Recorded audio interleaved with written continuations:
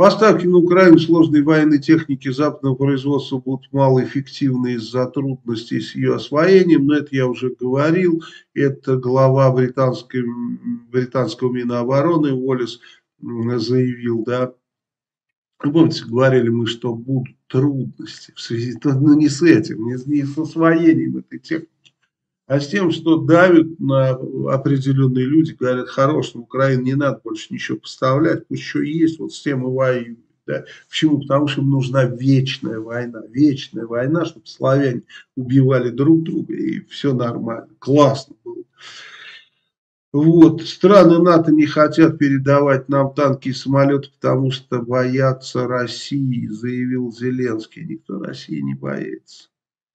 Зеленский говорит то, что он должен говорить. Он же не может сказать, что они не дают танки самолеты и не закрывают воздушное пространство над Украиной для, для того, чтобы выполнить свои обязательства перед Путиным. Он не может это сказать, но он-то это знает. Все думали, что за, за Путин захватит в один-два дня всю Украину. И на это и рассчитывали. То есть вот Кулеба, это министр, он же э, правильно говорит, что разговаривает там с э, западными лидерами, они сказали, через 48 часов все кончится, мир станет другим. Ну, ну, мир другим стал, конечно, но ничего не кончилось, все только начинается. И поэтому у них концепция такая прежняя осталась, что Путину как-то помочь там сделать он хочет в Киеве парад на 9 мая. Ну пусть сделает. Но украинский народ мешает ему это сделать. Украинский народ оказался очень сильным, оказался очень волевым. Австралийский парламент отказал президенту Украины в обращении к депутатам. Ну, мы говорили, что э, Австралия, ой, Австралия, Австрия, извините, австралийский, какой австралийский? Австрийский парламент, конечно. Что Австрия э, очень здорово, и вот газета Financial Times пишет, о том, что Австрия с Путиным прям не разлей вода, решают все вопросы, и что, ну, мы помним, что англичане секретные материалы перестали передавать австрийским спецслужбам еще несколько лет назад, считая, что все спецслужбы Австрии работают на Путина. 50% французов верят хотя бы одному из русских, э, из российских аргументов по поводу операции на Украине. Да, мы это видим. Вот. И президент Макрон заявил, что не позволил бы себе оскорблений в адрес российского лидера Путина, который допустил Байден.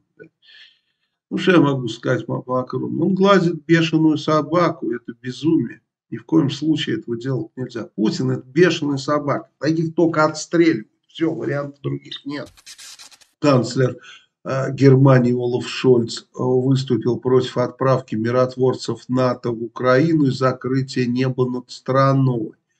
Шольц очень, конечно, ревниво относится, он понимает, что Польша, э, если сейчас отправит туда миротворцев, а именно это хочет сделать Польша и Венгрия, да, то она потом просто не уйдет. То есть Львов и, и да, южная часть, э, которая венграм достанется, так, так и останется уже не украинской.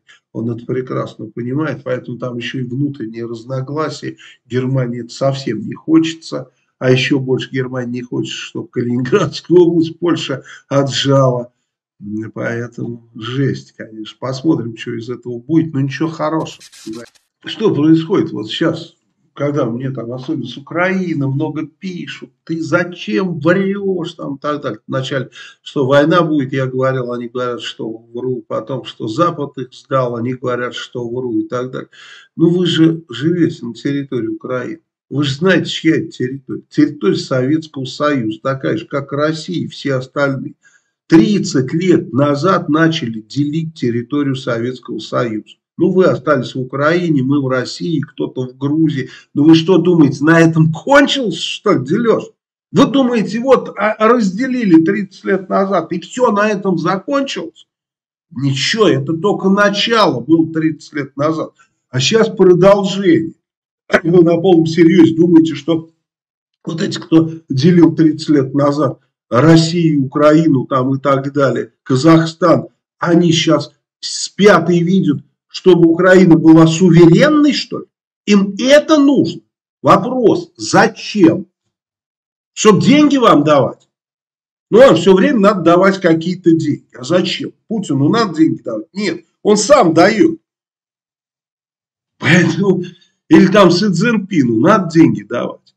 Ведется очень серьезная игра. И не обольщайтесь. И не надо никому верить. Смотрите по делам, а не по словам. Смотрите, кому что выгодно. И всегда понимайте, что вся политика иррациональна. Что бы вам кто ни говорил про рациональность политики про логику ее, она иррациональна. И в политике самый верх занимают такие, как Путин. Тупые, злые, козлы. Ну, знает Калининградская область, кому этих нищебродов. А почему нищеброд? Калининградская область достаточно богатая.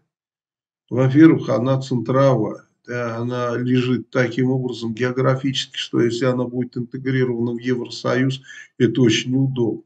Это хороший порт, это хорошая а, как бы территория для взаимодействия. Там есть янтарь на огромные суммы, которые используются сейчас, будет еще больше использоваться в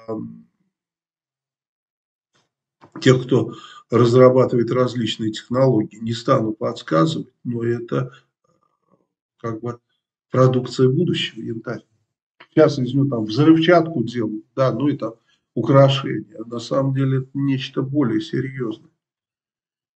Так что за этим будущее. И Калининградская область, я говорю, это та часть, которая может с точки зрения промышленной а, быть поднята на самый верх в Евросоюзе.